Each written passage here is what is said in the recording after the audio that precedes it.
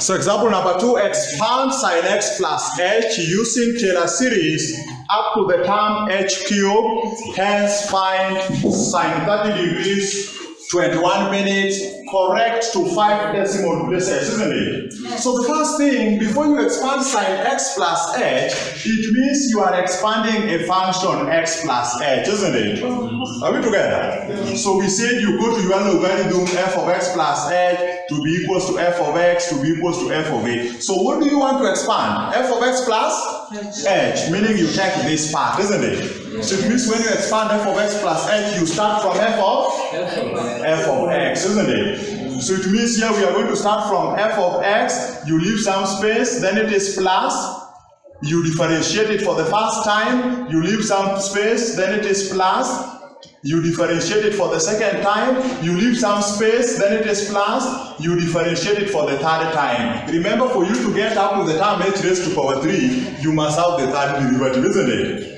So you start, when f is raised to power 1, then it means you have h raised to power 1 over 1 factorial, isn't it? Yes. Are we together? Mm-hmm. When f is differentiated for the second time too, it means h is raised to power 2 over 2 factorial. This is not quite the first derivative, isn't it? But we can pronounce it the way we like. When it is differentiated for the third time, it means we have h raised to power 3 over 3 factorial. So have you seen, you found the Taylor series expansion of the function x plus H. h. After that, you now want to expand what? What is your function f of x plus h? Your function x plus h, you've been told it is in x plus You've been told it is in x plus what? Sin x plus H. Isn't it? So if h is not there, if h is not there, it means f of x is in x. If h is zero, so it means f of x is equals to sin x. Are we together?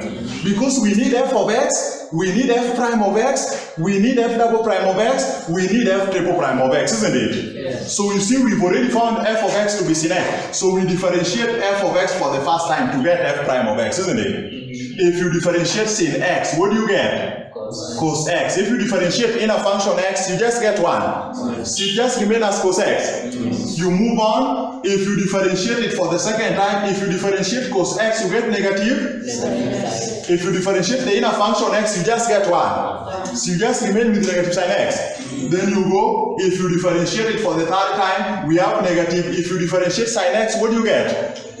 C cos x, differentiating sin x, negative is outside, you factor is outside, isn't it? See, if you differentiate sin x, you just get cos x. Yes. See, we now remain with negative cos x. Yes. See, we've now found everything. See, we found f of x, we found f prime of x, we found f double prime of x, we found f triple prime of x, isn't it? Yes. Are we together? Yes. See, the next thing we do, we just substitute. So the next thing we do, we just Substitute. we just substitute. So we have our f of x plus h, which is what? f of x plus h, where this f of x plus h we put its value is what? Sine? It is sine x plus h, isn't it? To be equals to f of x you found to be sine x. Are we together? Then go on. Plus f prime of x you found to be So it is plus cos x over 1 factorial. So 1 factorial is just 1. Then times h raised to power 1. See, that's just h. Yes. So you see what you have in short. It is just h power 1 over 1 factorial is just h. Then times cos x, f prime of x, isn't it? Move to the next one. f double prime of x found is negative. Sin X. Negative sin x, isn't it? Then here you have h squared over 2 factorial, isn't it? So h squared over negative sine x will be negative negative h squared over 2 sine x because 2 factorial is 2. So it is h squared over 2. Are you seeing we are getting rid of the factorials? Then your f double prime of x is negative sine x, so you simplify that, isn't it? You move on, your f triple prime of x you found to be what? Negative cos x, isn't it? Then here you have h cube over 3 factorial. 3 factorial is 6, isn't it? Yeah. So it means you have negative h cubed over 6 cos Cos X. cos x because f triple prime of x is negative cos x then f 3 factorial is 6 so you simplified the whole thing are we together Yes. so have you seen we've expanded sin x plus h up to the function, up to the, the term in h cube. Are we together? Then now they want us to use it. Let us now write it up here because we want to use it, okay? Yes. we found the expansion of sin x plus h to be sin x plus h cos x minus h squared over 2 sin x minus h raised to power 3 over 6 cos x, isn't it? You want to use it to solve what? To solve sin sin 30 degrees 21 minutes. So you know one minute is 60 degrees, isn't it? So if one minute, you know 60 minutes is one degrees, isn't it? Yeah. So 21 minutes will be what? Will be one degrees times 21 minutes over 60 minutes. You get 0.35 Degrees. degrees, meaning here you will have sin 30.35 degrees. Are we together?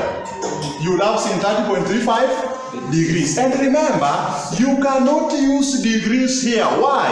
Because if you use degrees, sine, sine of this x will be in degrees, but now h will remain in pi radians. Are you seeing? So it means anytime you are working with the power series, everything must be in pi radians. Are you seeing that?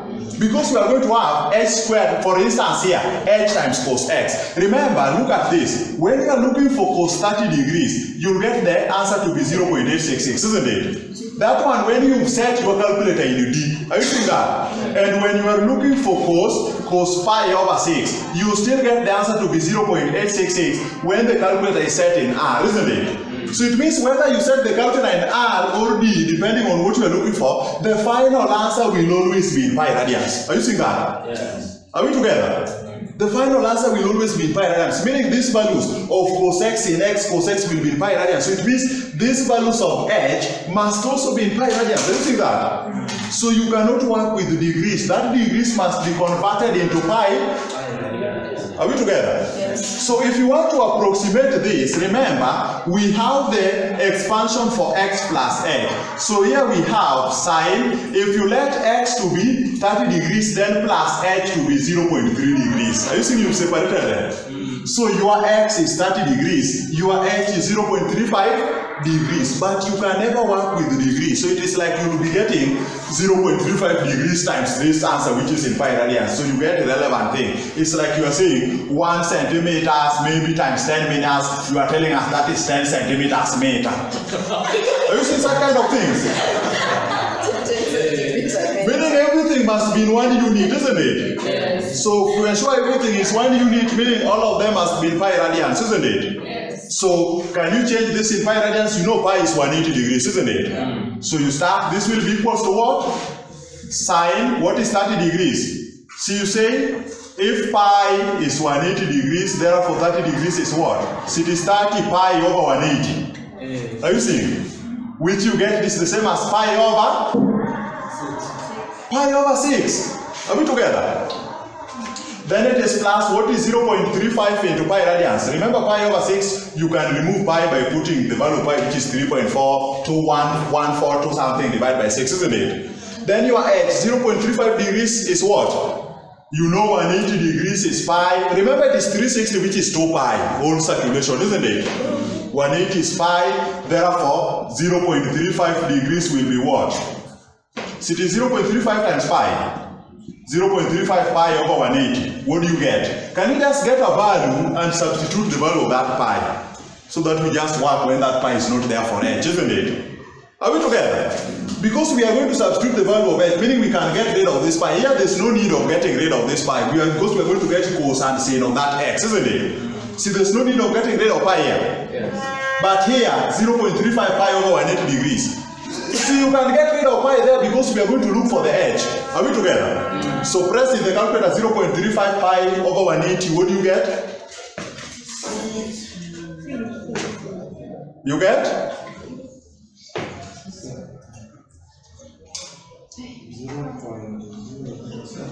Zero point zero? Zero zero six? One. One? Zero eight. Zero eight, one zero eight. Are we together?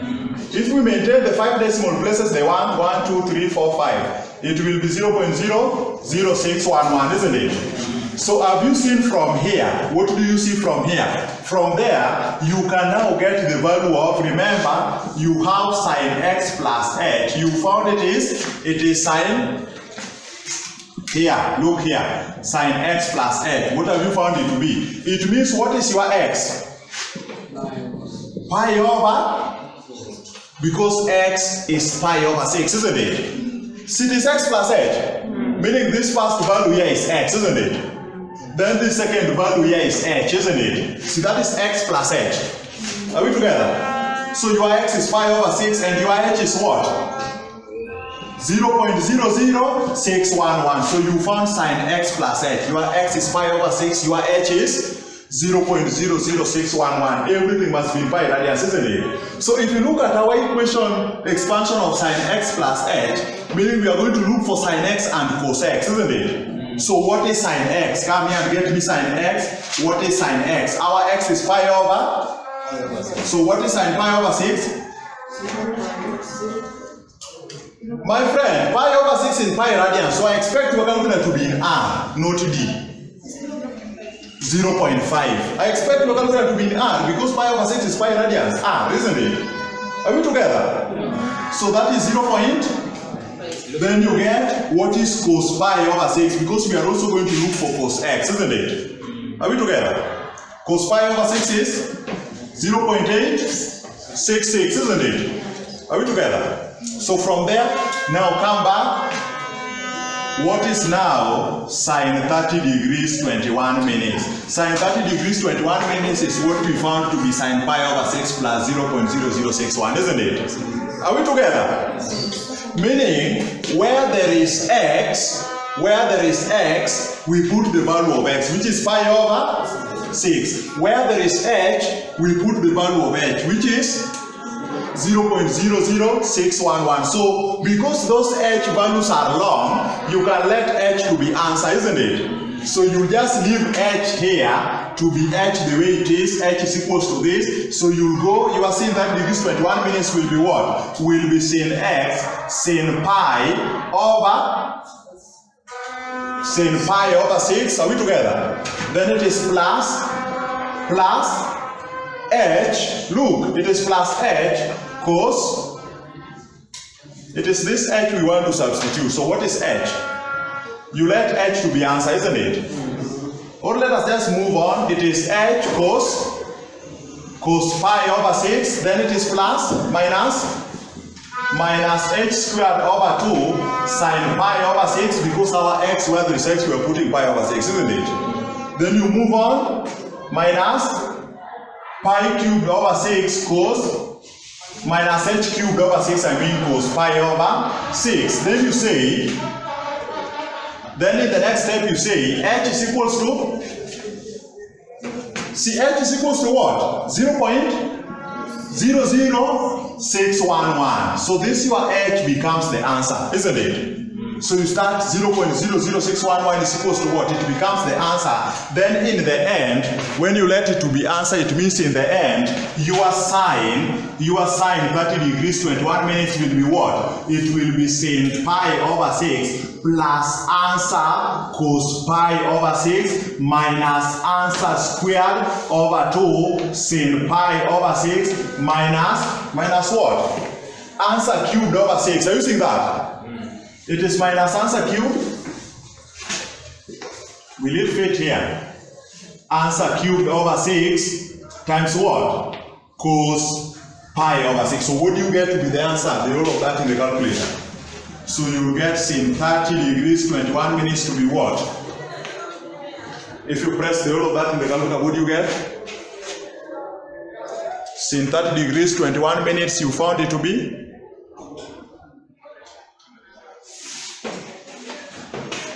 What have you found it to be? You just substitute. Where there is h, you substitute the value of h in the calculator. This one goes until the end. Are we together?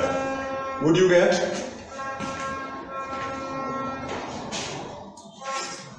It is very simple. What I have here h is 0.00611 is equals to that. You found the answer. Hmm. What have you found? 0.5052 0.5 0 0 5052 50 5 decimal places. 0.50505, isn't it? 0.50 5 3 just like that. Into 5 decimal places. Five zero. Five two eight. Five to eight. 5 to 8. You were told 5 decimal places. It is 0.5052 8. Meaning where there is h, you put the value of h which is 0.00611, isn't it? Where there is x, you put the value of x which is pi over 6. This last part here as overstretched, and I cannot write over there, isn't it? Good. So that is how to solve that given problem.